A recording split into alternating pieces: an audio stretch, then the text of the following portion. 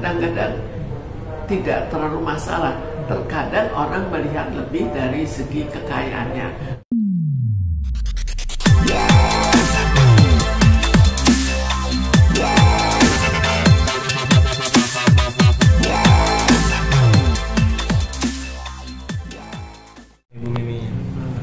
Bu gimana nih menurut Ibu kondisi psikis dari para istri yang disebutkan oleh yang viral tersebut 8 artis tersebut seperti apa sih? Jelas pasti akan kaget karena tidak disangka.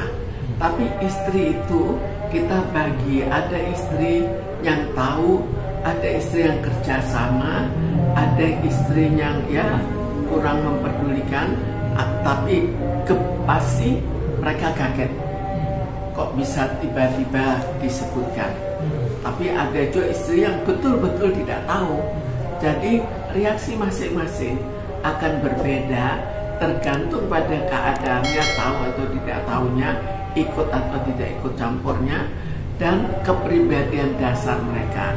Apakah mereka memang seorang yang akhirnya akan lebih banyak arah takut, atau mereka sebetulnya kurang takut? Kalau mereka biasa seorang pemberani, barangkali walaupun tetap sangat kaget, walaupun ikut takut tapi tidak terlalu. Tapi dari 800 itu nama-nama besar loh artis Ya. cukup dikenal oleh masyarakat lagi mereka pasti kan ngerasa gimana Jadi gitu. memang sebelum terkenal dia sudah tahu juga kan bahwa ini kekayaannya bukan kekayaan yang didapatkan secara halal. Sama seperti seorang koruptor. Bagaimana kalau seorang koruptor tiba-tiba ditangkap? Itu kan mirip-mirip juga. Jadi sebelumnya mereka memang sudah sangat senang dengan kekayaan yang berlebih. Akhirnya tiba-tiba ketahuan bahwa itu bukan kekayaan sebenarnya dan bukan hanya ke- ketahuan tapi juga kena perkara yang bisa menyebabkan mereka miskin miskin kembali. Itu kan kondisi dari psikis istri kalau dari sang anak gimana? Nih Kalau anak-anak kita bayangkan pada saat sekarang, anak itu umumnya kalau orang tua sudah terekspos di luar, maka anak itu akan dibully-bully. Jadi ini tekanan terhadap anak bukan karena peristiwanya, tapi karena teman-temannya mengejek. Dan dari satu teman ke teman lain sehingga akhirnya semuanya tahu dan sebagian besar akan ikut membuli mereka. itu bisa jadi ibaratnya kayak aib gak sih Bu bagi seorang anak bagi seorang istri ibaratnya suaminya tiba-tiba dikenain apa berita seperti itu Sekarang aib itu kita harus bedakan. Kalau dulu itu sangat aib. Kalau sekarang kan kadang-kadang tidak terlalu masalah. Terkadang orang melihat lebih dari segi kekayaannya. Misalnya kita bandingkan seorang koruptor. Koruptor akhirnya kaya tiba-tiba jadi kaya raya. Dia kan juga nggak terlalu merasakan aib walaupun ditangkap. Ini juga sama juga dengan selebritis. Jadi ini perubahan yang terjadi pada saat sekarang bahwa untuk ditangkap aibnya itu tidak sebesar aib yang dirasakan orang dulu.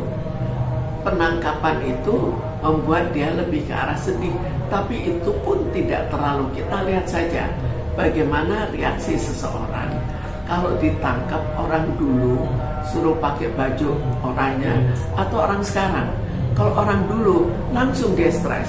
Kalau orang sekarang kadang-kadang dia malah dada-dada dan kadang-kadang tidak terlalu peduli karena di balik itu masih ada harapan bahwa dia punya uang cukup banyak untuk meloloskan diri. Paling tidak mungkin hukumannya berat tapi tetap menjalankan hukumannya di luar penjara. Itu kan banyak terjadi saat-saat dulu. Sekarang kita tidak tahu karena keadaan itu lebih berat. Jadi kalau kita lihat jelas hukuman sekarang lebih berat daripada hukuman dulu. Sekarang pengecekan seseorang juga lebih berat daripada dulu. Kalau sekarang betul-betul lebih diusut daripada dulu. Jadi apakah akhirnya akan betul-betul masuk penjara? Ini yang jadi tanda tanya. kalau betul-betul masuk penjara maka akhirnya nanti nanti mereka akan betul-betul sedih Bu, itu kan dari kondisi tadi istri anak. Kalau kondisi dari psikis para artis tersebut yang kemarin kan sempat menyangkal juga ada beberapa kayak Ata menyangkal, oh itu saya tidak tahu kalau saya itu ternyata duitnya dari ini terus Gus apa Gus Miftah juga menyangkal, saya tidak tahu ini gimana Bu? sekarang bagi artis yang akhirnya mengingkari karena dikenakan tindak pidana itu hal yang sangat biasa jadi umumnya kita lihat saja dari beberapa contoh-contoh yang ada begitu kena tindak pidana diingkari dulu. Karena kalau sudah diingkari kalau betul-betul mereka melihat ada bukti yang tidak bisa mereka ingkari baru ada yang akhirnya menerima atau akhirnya tetap mengingkari. Itu terjadi kan? Jadi artis juga sama juga. Dia lihat apa yang terjadi pada keadaan di mana seseorang terkena masalah pidana Bu, tapi kalau menurut Ibu sendiri eh, sebagai seorang psikolog melihat para artis yang langsung melonjak naik kekayaan menurut Ibu sendiri seperti apa sekarang kita lihat bahwa korupsi itu tambah lama tambah parah. Kita juga tahu bahwa sekarang sudah sangat merajalela mereka membutuhkan orang untuk tempat mereka menyimpan uang untuk money launderingnya ke mana. Jadi artis itu merupakan tempat yang cukup enak untuk tempat untuk money laundering. Jadi kita lihat untuk orang pajak money laundering dia kelompok artis ini. Ada lagi money laundering untuk kelompok yang eh, pemasok narkoba. Itu banyak di antara duta-duta narkoba.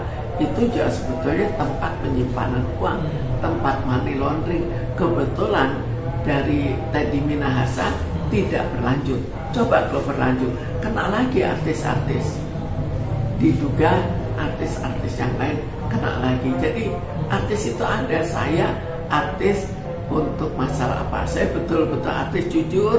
Saya artis yang yang terlibat masalah untuk eh, perkara pajak. Saya lebih ke arah perkara misal perkara narkoba. Ada lagi untuk perkara pencurian kan macam-macam. Bu, tapi kalau menurut Ibu sendiri eh, untuk bagi para ya artis atau yang orang awam eh, untuk mengikuti kayak trading-trading itu sebenarnya apa sih yang di pikiran mereka psikis mereka itu apa karena iming-iming Sekarang apa gitu? kita lihat banyak orang yang ya mungkin bukan banyak tapi ada saja orang-orang yang ingin cepat kaya secara halal maupun tidak halal jadi tergantung pada orangnya lalu tergantung lagi bagaimana lingkungannya sekarang kita lihat saja orang kalau sudah menjadi kaya itu kan betul-betul dipuji oleh masyarakat. Jadi masyarakat sebetulnya juga ikut salah. Kenapa memuji suatu kelebihan dari kekayaan. Walaupun kekayaannya karena hasil korupsi. Walaupun kekayaannya tidak halal. Itu yang akhirnya menjadi masalah di mana orang eh, ya mencari uang walaupun tidak halal. Dan uang itu sekarang kan mempunyai nilai yang sangat tinggi. Kita mau lolos, lolos dari penjara ya uang juga kita mau nanti sehari-hari tidak di penjara uang juga. Kita mau ya apa-apa juga uang yang menentukan. Kita minta bantuan apa uang lagi. Jadi memang uang sekarang itu serba tinggi nilainya. Bu, apa ini mungkin salah satu mereka cara untuk masuk ke dalam lingkungan misalnya lingkungan strata yang kelas atas, Hmm. jadi dia dengan cepat harus menghasilkan uang seperti atau bergaya hidup seperti ini gitu. Artis-artis itu punya fenomena seperti itu masalah untuk hidup mewah itu kan tergantung orangnya. Memang kelompok artis otomatis terbawa. Kenapa? Kelompok artis juga cukup banyak terbawa pada masalah money laundering. Kan menjadi tempat yang enak. Coba kita bayangkan, kalau artis misalnya dia menerima satu juta atau 100 juta kan nggak tahu lagi apalagi kalau misalnya dia main dengan seseorang apakah mainnya 10 juta atau dia mengatakan 100 juta bagaimana membedakannya jadi tempat yang cukup empuk untuk tempat money laundering gengsi juga atau gaya hidup gitu Hmm. gaya hidup otomatis ikut menentukan. Jadi mereka dalam lingkungannya akan sangat ikut saling mempengaruhi.